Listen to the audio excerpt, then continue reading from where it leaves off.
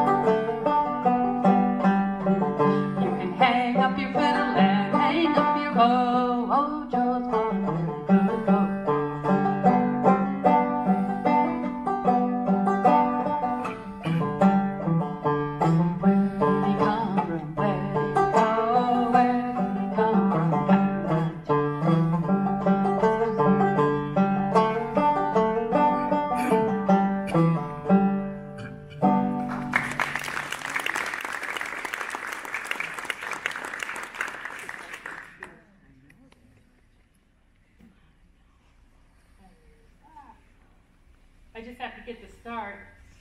You know how it is. Uh-huh. Um, this one, some people say that it kind of goes in an odd direction there, and because you know today's society we treat children, you know, with kid glove hands because you know they're so precious. Well, way back when, when they were having ten kids, they weren't quite so precious. um, this one's called um, Baby O. Uh,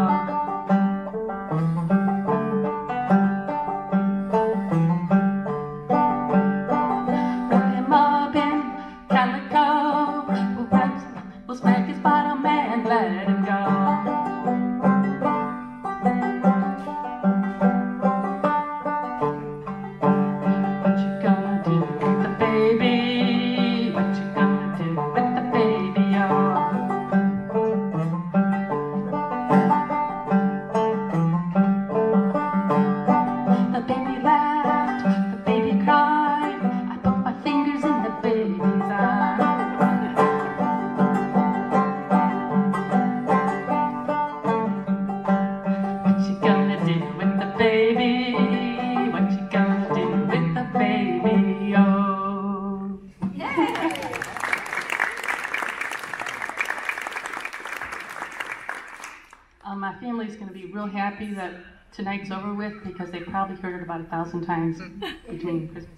What do you say, Jeff?